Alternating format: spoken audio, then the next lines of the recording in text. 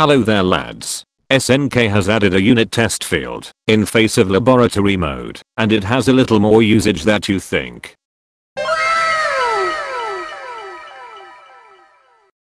So, probably it's time to make an actual reviews on the unit now. Our first target will be Zombie Rebel Soldier Red. That's a pretty niche opener unit for 85 AP with mediocre HP pull, no last resort attack and medium movement speed. However, his prod ain't so bad and his special allows him to jump forward twice, blocking movement at first jump, and piercing through on second one, allowing to deal damage to enemy backliners, even aerial ones. He gets a solid C from me. Now we have a golden Amadeus paratrooper. This one is at least opener for 113 AP. This guy might be very useful. His bazooka deals a good amount of damage, and his parabombs are able to block projectiles, which will protect you from the opponents, opening the sky jellyfish, just like this. But once he lands, he's just a short-ranged soldier with nice damage, which will die very fast. This buddy gets his B+. Now to more interesting things, like Liberty Theo.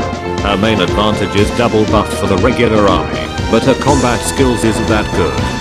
Her HP to AP ratio is insane, and she has a stun counter with deleting projectiles, which is working, only if she's not attacking, but her damage output isn't that high, so she can't be used that much outside of the early and mid game. I would rank her at A Mark for mixed deck, and as must have 4 PF mains. And there is Special Loretta, one of the most laziest grass skins of all times. Having her cost significantly reduced to 306 AP at plat, she pays for it with her special damage, being nerfed to ground zero. Even with the afterburn effect, it deals 130,000 damage if all hits were landed with so long preparation time, and even damage debuff doesn't save her, because you could always choose Vicky for it who is also able to stop enemy advancing, and has much better prod time. I would give a B rank to her. Sorry Loretta. Special Amy is suffering by the same issue. Her special was nerfed significantly in having a huge dead zone, where the shock beam just goes into the air at the midway, not hitting any ground backliners at all. That might be useful against some air units or tall bosses, but they are not meter as well. All her other stats are similar to her original version, minus the ability to finish special if her HP are reaching zero, which is bad. Since special Am's range is also very poor for the current meter, making her easy target. I just don't see any usage for her at all. Her rank? Outdated out of 10.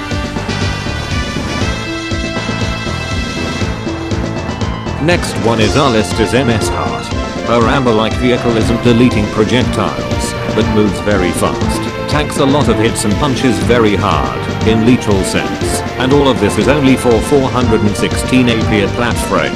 Special attack is really powerful, aside of dealing enormous amount of damage, it also gives some invulnerability, but if something went wrong, there is also a second form with piercing multi-hit cannon, which covers a lot of space and deals high enough damage to support other melee units effectively. That's her S rank, both in mixed and PF decks.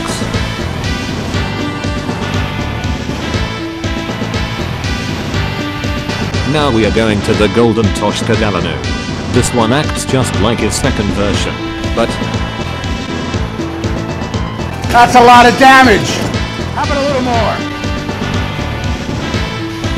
No, that's a lot of damage. yeah, exactly. It fires a shell while spawning, and it fires two shells during the special, which are dealing enormous damage and flaming the ground. On the downside, it's pretty much fragile and it's vulnerable to stun, so if you will not be careful, it will die instantly. My rank, a lot of damage, out of 10. Immortal Allen is one of the craziest guys in MSA history so far. Screaming all his infamous battle cries. He's all around unit. First form is a second line tank, not good to push enemies back, but he makes sure that if front line dies, there will be someone to cover it up, along with backing up with piercing grenades and anti-air spraying. When it dies, his jeep is doing a suicide run, and Allen switches to his second form, when he is still a second liner, but he got much better damage and some invulnerability during the special. It's not that good, until he hits his third, the craziest version. He gets into a frontliner, fully immune to stun, pushing like crazy, and stalling with his special, while he's standing there invincible, taking all the heat on him. And on top of that, his prod time is fast, so you could use two Allens in the same time pushing enemy lines.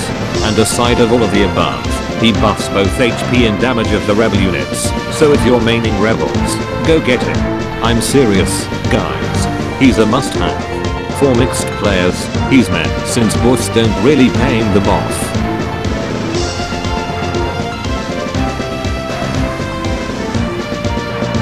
And all that's left to review is Flying Shell Type B. And it's such a disappointment.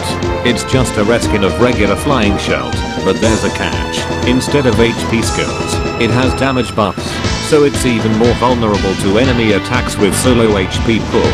Plus, is there any purpose to use a weak projectile blocker when 95% of the units are using non-deletable attacks, which don't give a fuck about meteors? And not only that, those attacks could easily hit the Shelt as well, killing it very fast. My rank for C. Maybe it will be useful for alien mains, but original Shelt is much better than this mistake of game development. Thanks for watching, and see you around next time.